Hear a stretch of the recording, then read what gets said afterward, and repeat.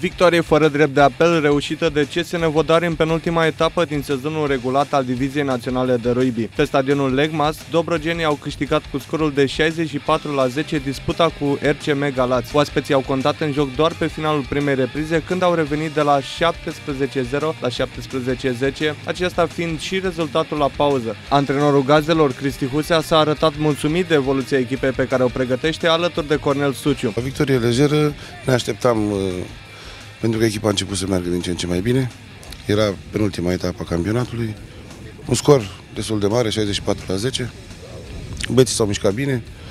Ne așteaptă o etapă de foc peste două săptămâni la Iași, ultima, etapă care ne va, ne va spune și pe ce loc ne, ne vom clasa la sfârșitul campionatului. Unul dintre cei mai buni jucători ai gazdelor, Marian Croitoru, a apreciat că echipa sa are cel mai reușit sezon de la înființare și se așteaptă ca CSN Vodar să joace în semifinalele șalonului 2. Un meci bun, un meci muncit. După aseară am avut fiecare sărbătoriți în familie și eu mă număr între ei.